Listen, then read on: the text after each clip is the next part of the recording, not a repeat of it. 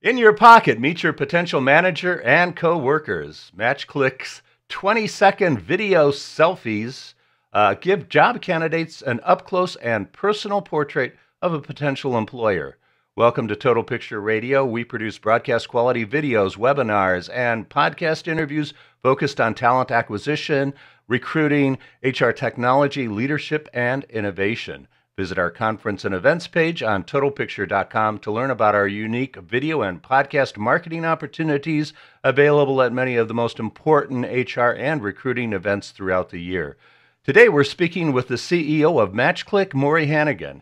Welcome to an HR Technology Channel podcast and vodcast on Total Picture Radio. I'm Peter Clayton. Yes, we're shooting video on Snow Day here in New York City, where they got about, I don't know, five inches of snow in, in the city itself.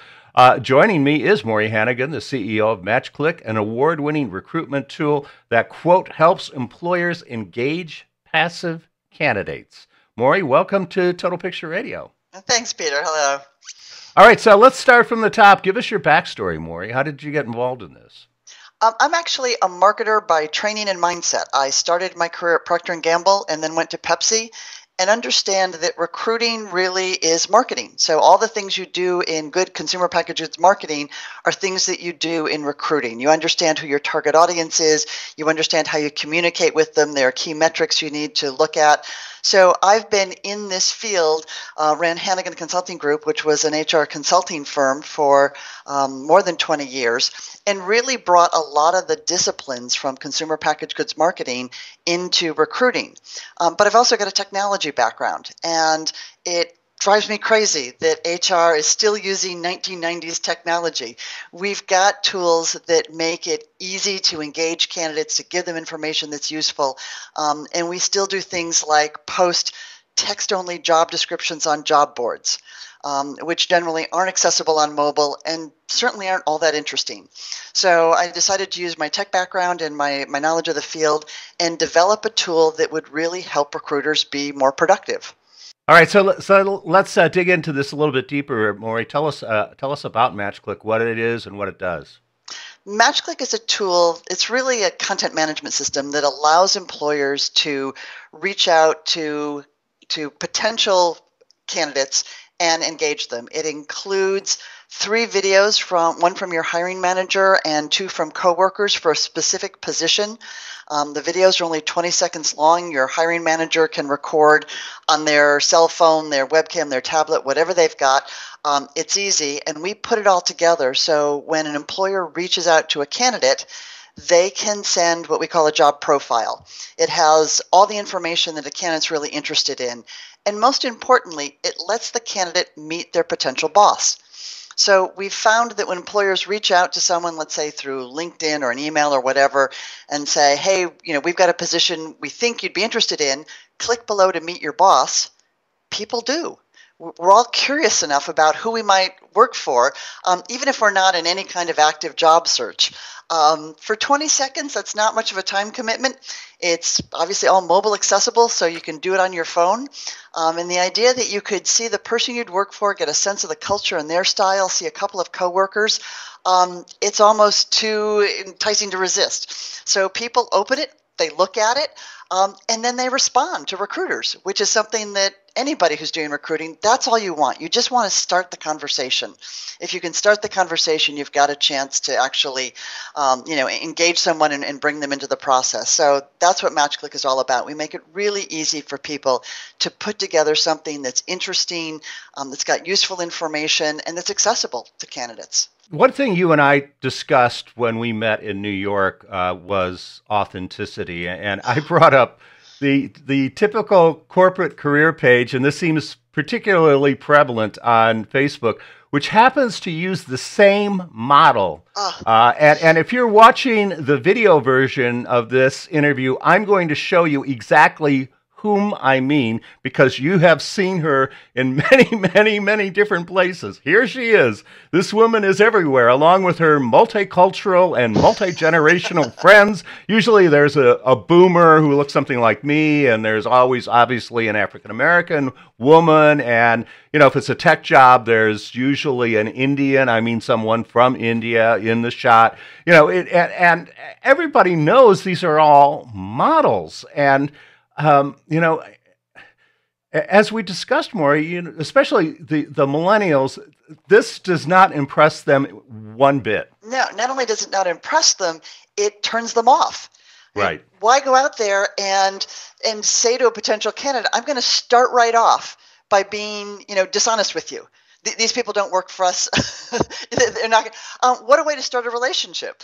Um, how different if you show them a video of the actual hiring manager and say, "Yes, this is real. This is someone who's directly going to impact your job, your career here um, at our organization," and you start with that kind of transparency and that kind of credibility. And that's huge in terms of building any relationship. And one of the things, if you look at the, the, the little video clips um, in the MatchClick profiles, is the first thing you come away with is how credible they are. You believe these people because, first of all, they're real people and mm-hmm. they're not scripted. They just talk to you for, you know, a couple of sentences. So it's not all of the nine adjectives strung together that corporate communications would like you to talk about when you talk about the job. People trip over their words, they leave sentences incomplete, they do all the things that normal people do when they speak. And so they're they're very authentic, they're very credible. You watch a video and you just absolutely believe that that person is telling you what their experience is like or what the job is like. And it's just so different than anything that's out there right now. Speaking about authenticity, obviously we're doing a, a webcam interview here, and we're breaking up a little bit. Uh, it's it's not horrible, but uh, just bear with us. Uh, we do have a snow day up here in Connecticut as well, and we did get more snow, by the way, than New York City. But uh, you know, one thing I want to talk about is you know some of the challenges that you have in in you know as you mentioned this is all new technology that you're putting out there and trying to get especially large fortune 500 corporations to embrace whom uh, you know have more gatekeepers than you know what to do with. So first of all you know how do you get employees to shoot videos of themselves? I'm sure it's pretty easy with millennials because they're used to doing it but you know, when you get into the Gen Xers and certainly the baby boomers, I'm sure you you reach some resistance on on shooting these videos. We started out expecting that millennials would be the ones that would be most comfortable with this, um, and I would say that to to clients as they were starting to to launch this um, the use of the platform.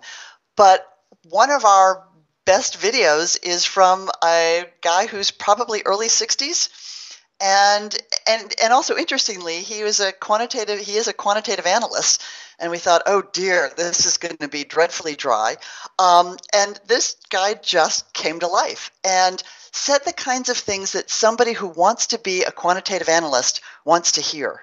Um, so I'll, I'll, tell you the first couple of videos can be um, tough because managers don't know what's expected of them. But as soon as they see one or two they go oh Jim did that. Heck, if Jim can do that, I can do that. Or you know, oh Nancy, yeah, I can I can talk about the job for a couple of sentences. So once people see a couple of them, then it becomes very easy. Once they get over the idea that this has to be, you know, a perfect corporate video and the lighting has to be perfect and the words have to be perfect, that they can push their hair out of their eyes or stumble, and it's okay. They can just talk to people. The idea that that as a hiring manager, you could just talk to a potential candidate is really exciting because hiring managers can be hypercritical of recruiters. Oh, they don't understand the job. They're not positioning it right. It's, you know, it's recruiters' reasons that we don't have these great candidates. Well, we take that out of the equation now, and um, right. and some recruiters are thrilled. It's it's only 20 seconds of the manager's time, um, but it lets them have input in a way that's constructive. Um, and they get to say, you know, give their spiel and talk to candidates. So it, it's really a it's a great dynamic between the hiring manager and the the recruiter. You raised a big red flag for uh, HR and legal when you said unscripted because as you know and you know back to this whole thing about authenticity i mean we've all seen these corporate videos where you know somebody is reading a script and it's so obvious and it's so painful and it's so bogus. But how do you get how how do you get you know these legal departments and these HR you know leaders to go? Oh yeah, uh, we can do this unscripted. That's fine. Yeah. Well, we planned for that because. Um, legal really is our favorite department in the organization. yeah, I'm sure. Really, yeah. really. Um, yeah. yeah. but it's only 20 seconds. right, right. but but we understand no organization wants video going out that hasn't been vetted. Right? Someone's going to make a joke that's just inappropriate. They may mean well, but um, you know, or they're going to blurt out something that's proprietary, or they're going to name a client that they shouldn't have named. Um, so we understand there needs to be a, a check in the system. So when we designed MatchClick, we designed it with an approval process in place. Uh, we've been very successful with all our clients so far at having the recruiter actually be the approver. If you've got a professional recruiter who understands what's potentially discriminatory, what's not, what's proprietary, they can look at a 20 second video and approve it. But nothing goes live until it's been reviewed and approved. We did have one um, client where legal was determined that they had to review everything, um, and some poor attorney, you know, watched four of them and went, oh, for heaven's sakes, you don't need a law degree to do this, um, and sent it back to HR where it belonged. Because you've got professionals, um, they can look at a 20 second video and say, yes, this is appropriate. We understand our branding, we understand how we want to come across to candidates. Um, and if they decide to decline a, a video, it's all automated. You know, an email goes back to the individual who recorded it and said, thanks for your video. We can't use it in its current form. You know, here's the reason why. Please just upload a new one. It's all quick and automated, but we do have that built into the system so that you don't have to worry that something's going to get out there that um, shouldn't be. I want to talk about passive candidates, a term that is being thrown around a lot by vendors these days, and one that I actually happen to use in your open. Uh, and now that the job market has completely flipped, which I think has happened much, much faster than most employers had anticipated. I mean, it is now a candidate's market out there if you've got the right skills right. and the right education and background. Mm-hmm. Um, you know, uh, so talk to us about this term passive candidates, which uh, if if you're not in the recruiting industry and don't know what quite that what that means, that means somebody who currently has a job. I mean that's code for this person is employed, and so therefore they're going to be a lot harder to recruit than someone who is what's called an active candidate, who is someone who is unemployed and out there actively looking for a job. And the reality is, the world isn't nearly as neat as those two buckets. Um, there are a right. lot of recruiters who think, you know, the active candidate is the unemployed person who's on the job boards and applying, and the passive candidate is the individual who's succeeding at their organization and not the least bit interested in a job. The reality is, there's a spectrum there of candidates. Um, you go all the way from the folks, and, and we've actually put together this um, passive candidate map that lays out eight distinct different segments of candidates. And it goes from one extreme to what are truly locked candidates. We, we consider them locked into their jobs. That may be um, right now the employees of WhatsApp. There's a $3 billion retention bonus waiting for those folks if they hang on for two or three years. I don't think you're going to shake them loose unless you're really persuasive, but we'd consider those a locked candidate. Um, there are lots of reasons why people are locked into their jobs. Um, whether they've got family situations that don't give them geographic mobility, um, they might be a couple of years away from vesting or so forth. There are people who are absolutely locked into their job for lots of reasons. At the other end of the spectrum, you've got your your completely active candidate who's out there searching. But there are a lot of people in between that, for the right opportunity, would listen to something. Um, there are lots of situations that, that people have. They may be looking for a promotion and they understand their boss isn't going anywhere anytime soon. So they're working, they're successful, they're happy at their job, but they don't really want to keep this job for the next two or three years. They're ready to move up. So if the right thing came across their desk, they'd be interested. Um, and what's important is you understand that not all passive candidates are homogeneous. And if you understand what those segments are, as a recruiter, you can reach out with a much more tailored approach and find some of those triggers that will get them to pick up their head and go, oh, global responsibility. Yeah, I'd really love to add, you know, global to my portfolio. Let me talk to these folks, um, or or whatever the situation is. But it's but there are a whole spectrum of passive candidates, um, and most of them can be shaken loose if you have the right approach. I think people need to understand that there's a tremendous amount of technology behind what you're doing with MatchClick. It's not just, oh, upload this video to Dropbox and we'll do something with it. So can you can you sort of explain? Uh, I mean, you told me you have a whole technical department oh, yes. that's that's works 24/7 on this oh, thing. Yes. So tell us a little bit about it. Uh, I think one of the, the beauties of, of MatchClick is we've made it so easy to use.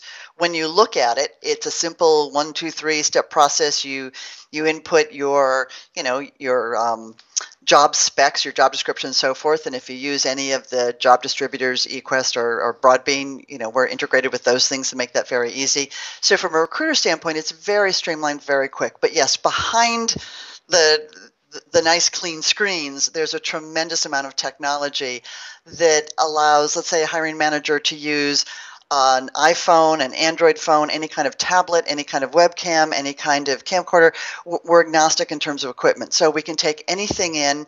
Um, we've set it up so that the hiring manager um, or your coworkers don't need to download any software. They don't need a username or password. They just click on a link and upload the, the video they want to upload, and then they're done and gone.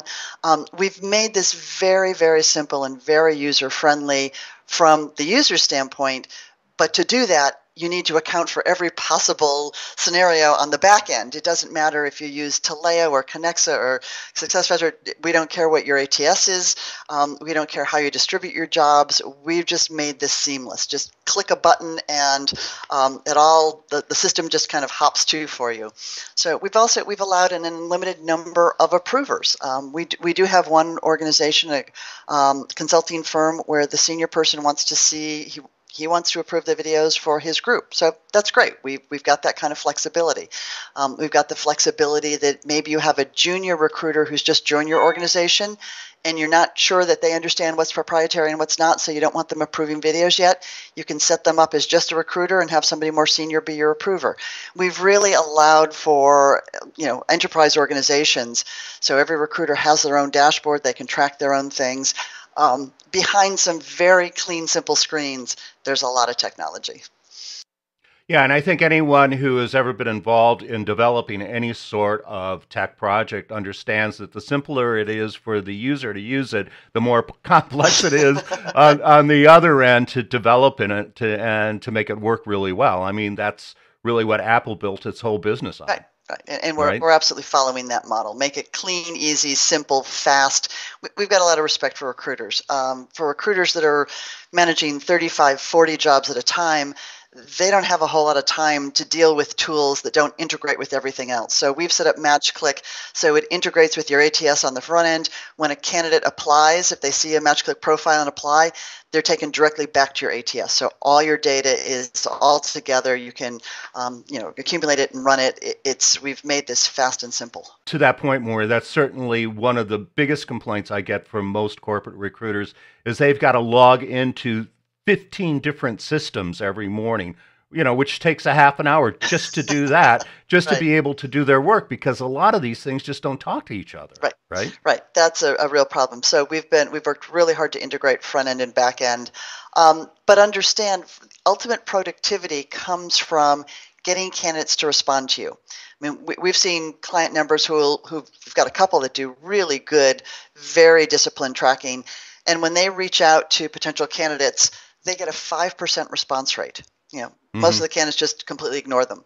Um, when they send a match click profile that says, you know, click below to meet your boss, they're getting a 40 to 50% response rate. That's that's phenomenal. And in terms of the amount of time it takes to put together a slate of candidates that you can bring to a hiring manager, if you're getting people to respond to you, it's a whole different game than just you know reaching out and reaching out and reaching out and trying to find enough candidates to put together a slate. So what we've tried to do with matchclick is say take a little bit of time just give us the emails of your hiring manager and coworkers um, and we'll make your your you know your productivity much much higher. So it's that trade-off of for a little bit more time you get a lot more response. And that makes sense to recruiters. Let's talk about this from the employer standpoint for a minute uh, tell us how this uh, works. Uh, you know, let's pretend I'm, you know, a, uh, uh, a recruiting leader, a, you know, head of talent acquisition. I'm interested in using your service. What are the steps? How much does it cost? How do you get started doing this? Um, again, simplicity is what was our guiding principle here. There's no software to buy, there's no account setup to deal with. You can actually just go to the MatchClick site, it's match-click.com. If you want, you could start with just a single job profile um, for $249 you can get you can set up one job profile and try it. Uh, it will stay live for 30 days. You can send it to potential candidates but then you can buy packages of job profiles. Um, but again it's simple. You can go on you can set up your account in about five minutes just very basic information and have a job profile set up in another 10 minutes tops. Great uh, well, Maury, thank you so much for taking time to speak with us here on Total Picture Radio. I'm, I'm really happy that we've had an opportunity to talk about MatchClick. And so, how uh, how can our listeners connect with you? Uh, you can connect with me directly. It's Maury, M A U R Y, at match-click.com. So be sure to visit Maury's uh, show page in the HR Technology channel of Total Picture Radio. That's totalpicture.com for resource links and more information. While there, please sign up for our newsletter. Uh, subscribe to our iTunes channel and join the conversation uh, on face on our Facebook group. Uh, I'm happy to connect with our listeners on LinkedIn. Follow me on Twitter at Peter Clayton and at Total Picture. Thanks so much for tuning in to Total Picture Radio. See you next time.